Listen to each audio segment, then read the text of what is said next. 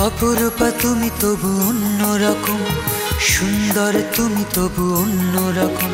তুমি অন্যরকম। তুমি অন্যরকম।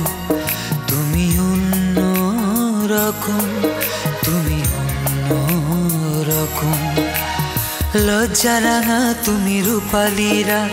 শিশির ভেজা ওই মিষ্টি প্রভাত। দুঃখ সুখের তুমি সঙ্গী আমার। প্রাণের প্রিয় অনুপম। তুমি অন্য রকম। তুমি অন্য রকম। তুমি অন্য রকম। বুকের জমিনে তুমি শুধুই আছো। চোখের তারায় মিশে আছো। যত দূরে যাও যেখানে থাকো ফেলে আসা স্মৃতি ধরে রেখো। জনম জনম তুমি অন্য রকম তুমি অন্য রকম তুমি অন্য রকম। বর্ষাকে নিয়ে নতুন সমস্যার সৃষ্টি হয়েছে। ভাবছি ওদের বাড়িতে একবার যাব। আমিও যাব তোমার সাথে। কোথায় যাচ্ছ সময়? বাদল কাপুর বাড়ি। ঠিক আছে যাও। আমি বলছি ও যাবে না। আমি বলছি ও যাবে। সেদিন মার সাথে সরাসরি কথা বললাম। কি বললেন তিনি? তিনি যে আসলে কি বলতে চান বুঝি না। তবে এতটুকু পরিষ্কার তিনি এই বিয়েতে রাজি নন। তাহলে তো বড় মুশকিল হয়ে গেল নীলা।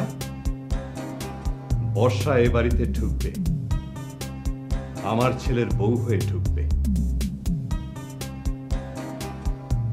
তোমাকে অন্য কোনো বাড়ি খুঁজে নিতে হবে। আমাদের এইসব টানাপোড়েনের জন্য দুটো বাচ্চা ছেলে মেয়ের জীবন নষ্ট হয়ে যাবে।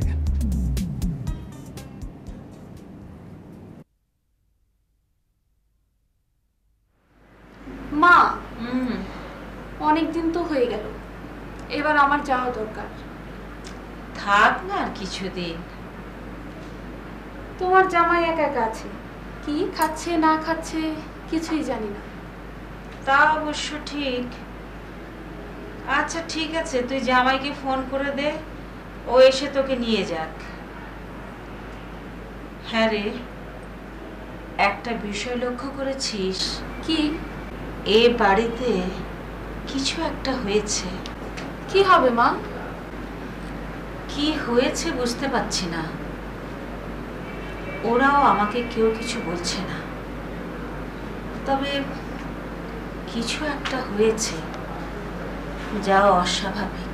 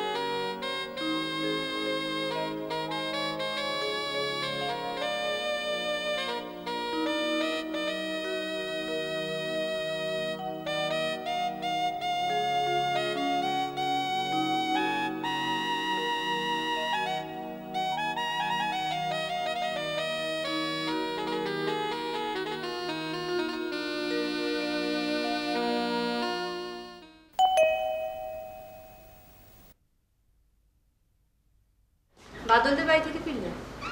হ্যাঁ। কি কথা বললে ওদের সাথে? আমার প্রশ্নের উত্তর কেন দিচ্ছ না? কি কথা হলো সেটা তো তোমার জানার দরকার নেই।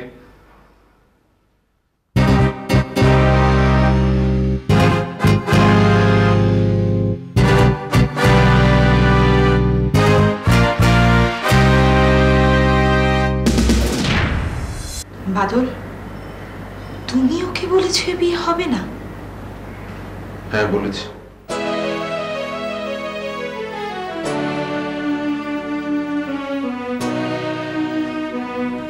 কেন বলেছ? তুমি জানো না? এ বিয়ে না হলে আমাদের বর্ষা কষ্ট পাবে? সময়কে না পেলে ও ও ভীষণ কষ্ট পাবে। একা বর্ষা আমারও মেয়ে পৃথিবীর যে কোনো জিনিসের বিনিময়ে আমি বর্ষার সুখ চাই। চাই না। আর চাই বলে চাই বলে আমি আমি বিয়েটা না করে দিয়েছি। আমি জানি আমি জানি বর্ষা সময়কে ভালোবাসে সময় বর্ষাকে ভালোবাসে। কিন্তু তুমি বলো, যে ঘরে বর্ষা বউ হয়ে যাবে যে ঘরে যে ঘরে মানুষটি মাতৃ স্নেহে বর্ষাকে বরণ করে নেওয়ার কথা সেই মানুষটি যদি প্রতিপক্ষ হয়ে যায় তাহলে তাহলে বর্ষা সেখানে সুখী হবে কি করে?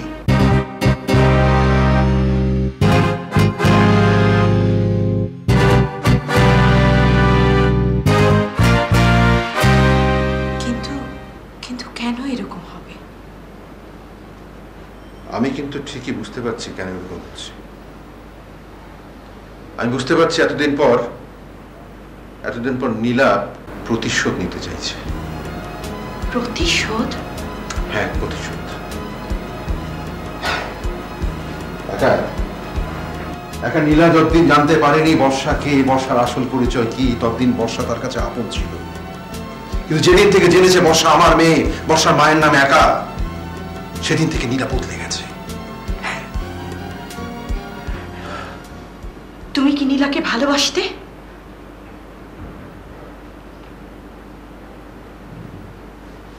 বলো।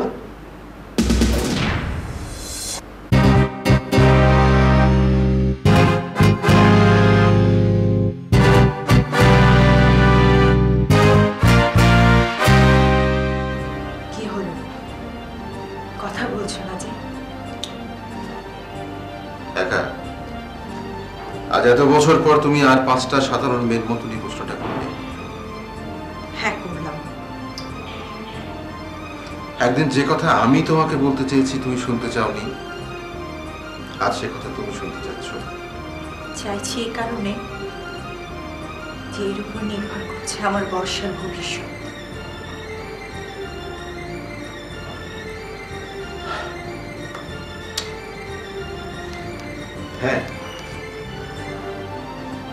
একা আমি আমি আমি নীলাকে ভালোবাসতাম। কিন্তু তোমাকে দেখার পর থেকে আমি বুঝতে পেরেছি যে আমি এতদিন ধরে ভুল স্বপ্ন লালন করেছি। তোমাকে দেখার পর থেকে আমি বুঝতে পেরেছি যে, আমি বুঝতে পেরেছি যে আমার গন্তব্য তুমি। হ্যাঁ তুমি।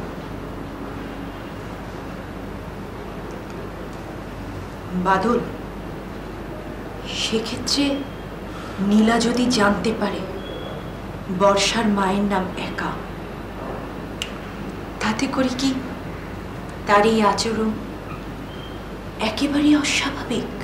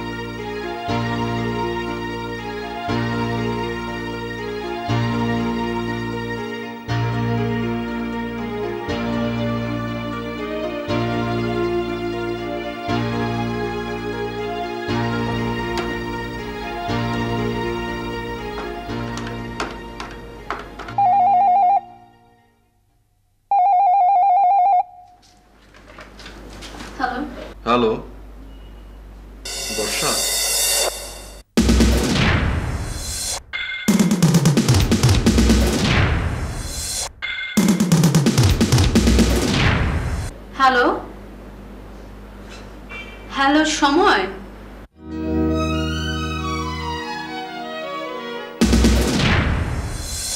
হ্যালো।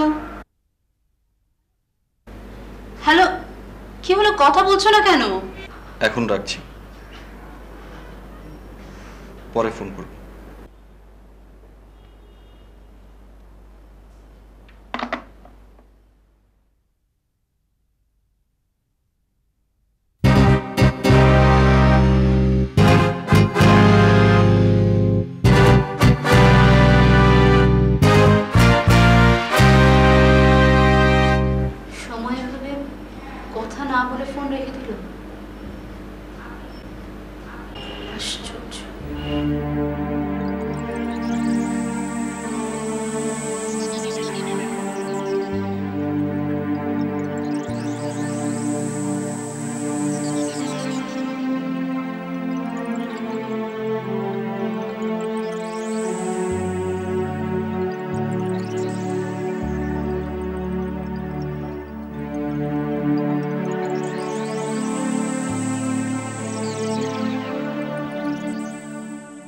বর্ষা। বর্ষা। দুটুকু খেয়ে নাও মা। আমার এখন কিছু খেতে ইচ্ছে করছে না আমি এখন খাব না।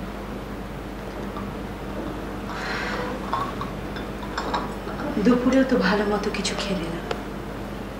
এভাবে করলে কি শরীরটা টিকবে রে মা? মাগো তোমার মনের অবস্থা আমি বুঝি। মনটাকে একটু একটু শক্ত করো। পৃথিবীতে সব কিছুই সবসময় নিজের ইচ্ছে মতো হয় না। অনেক সময় অনেক সময় অনেক কিছু ওলট পালট হয়ে যায়। তৈরি হয় বৈরী পরিবেশ।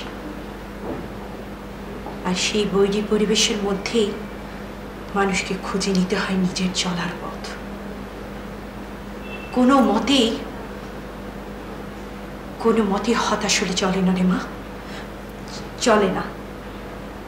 আমি তো হতাশ হইনি মা। জন্মের পর থেকে আমি তোমাকে দেখে আসছি।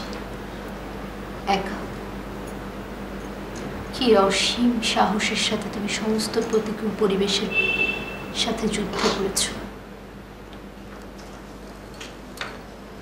কোনো কিছুই কখনো তোমাকে অবিচল করতে পারেনি।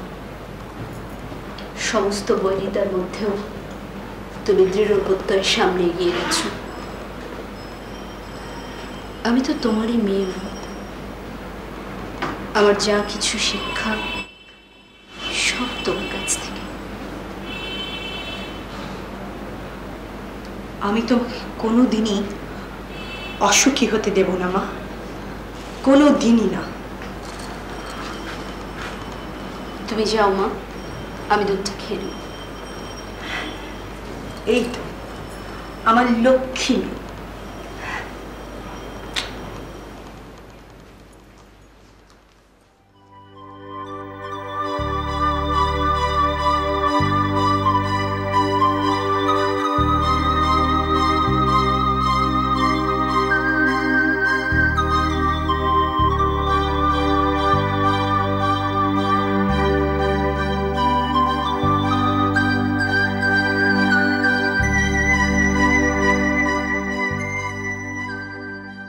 না না আমি আজকে আর চেম্বারে আসছি না। শরীরটা খারাপ। হুম? ঠিক আছে কোনো সিরিয়াস পেশেন্ট যদি আসে তাহলে আমাকে খবর দেবে ওকে ওকে থ্যাংক ইউ তোমার তোমার শরীর খারাপ? না তো। আরে ডাক্তারের উপর ডাক্তারি করছ? প্রয়োজন হলে সেটাও করতে হয় বই কি। ইয়ে কই? জ্বর টর তো নেই? বললাম তো আমার কিছু হয়নি। তাহলে যে এক্ষুনি বললে তোমার শরীর খারাপ?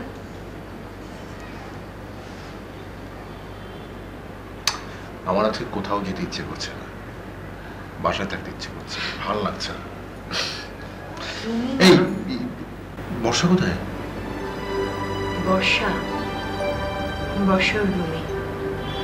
জানো মেয়েটার মুখের দিকে তাকানো যায় না। মুখের দিকে তাকালে বুকের ভিতরটা কেমন জানি মোচড় দিয়ে ওঠে। তাহলে শেষ পর্যন্ত সিদ্ধান্ত কি দাঁড়াল? আমি সময়ের বাড়ি যাচ্ছি কালই রওনা দেব। এক কাজ করলে কেমন হয়? কি? আমরা সবাই দল বেঁধে যাই খুব আনন্দ হবে। সেটা বোধহয় ঠিক হবে না। উইদাউট নোটিশে সবাই দল বেঁধে গিয়ে উপস্থিত হলে সময় একটু অপ্রস্তুত হবে। আর তাছাড়া ব্যাপারটাতে আমরা তো মজা করার জন্য যাচ্ছি না। আমার মনে হয় সময় খুব ঝামেলায় আছে। মুন্না তোমার সাথে আমার কিছু কথা আছে। সিরিয়াস কথা? যা আমার সামনে বলা যাবে না? না তা ঠিক না। ওকে তোমরা কথা বলো আমি আসি। তুমি কি কালি রওনা হচ্ছ? হ্যাঁ। আমিও যাব তোমার সাথে। ব্যাপারটা ঠিক হবে না।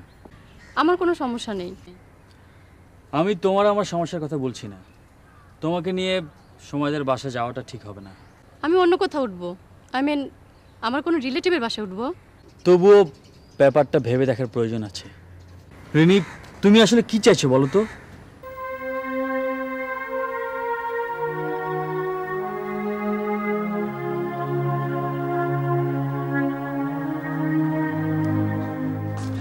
জহির মুন্না তোরা?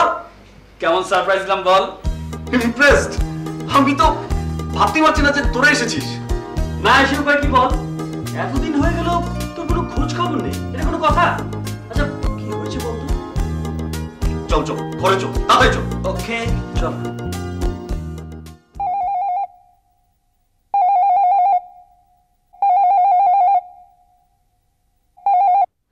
হ্যালো হ্যালো বর্ষা সময় তুমি?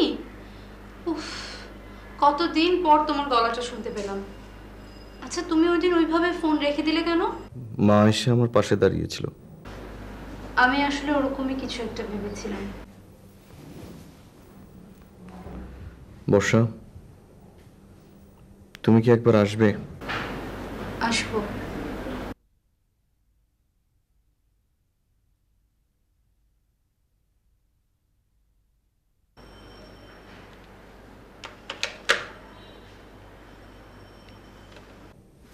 কিরে কি কথা হলো? বর্ষা আসছে। তুই ফোনটা এনেছিলি বলে ওর সঙ্গে যোগাযোগ হলো। আমি জানি ভেজালের সময় এই ছোট বস্তুটা অনেক কাজে লাগে। দেখলে আমি এলাম আর সাথে সাথে এক ঝলক সুবাতাস বইলে তোর জীবন।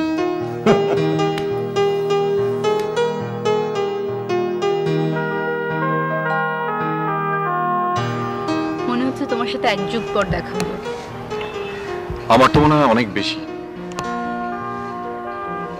এক সময় ইচ্ছে হয় কি ইচ্ছে হয় জানো? ইচ্ছে হয় ছুটে চলে যাই তোমাদের বাড়িতে। আসলেই পারো। আমাদের বাড়িতে তো তোমাকে অসম্মান করার মতো কেউ নেই।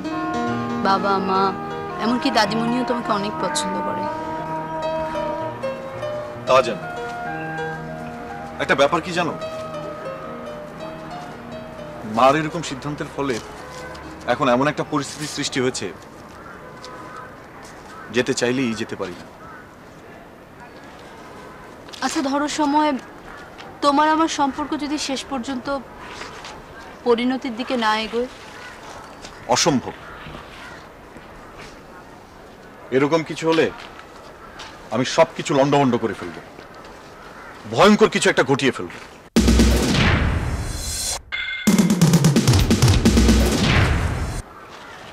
তুমি আমার পাশে নেই, থাকবে না। আমি এরকম কোনো কিছু চিন্তাই করতে পারি না। সময় তোমার মনে আছে?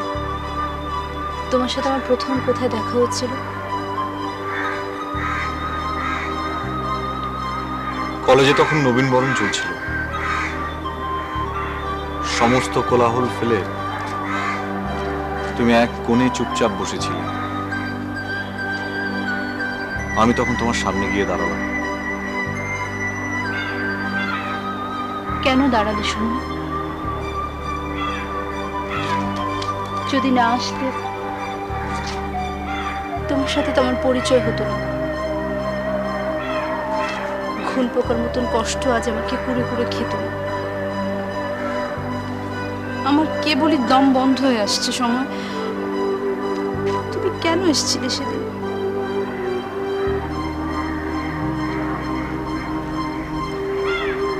আমার সেদিন মনে হয়েছিল সাধারণ মানুষের ভিড়ে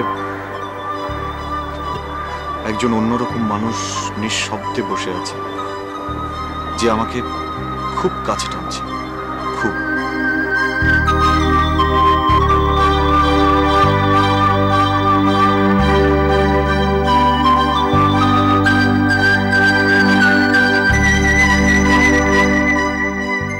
ও তোমাকে তো একটা কথা বলতে ভুলে গেছি কি?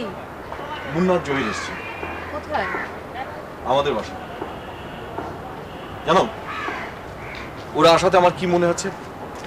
আমার মনে হচ্ছে এক ঝলক বাতাস ছুটে চলে এসছে আমার বদ্ধ ঘরে। অপরূপা তুমি তবু অন্যরকম, সুন্দর তুমি তবু অন্যরকম, তুমি অন্যরকম তুমি অন্যরকম।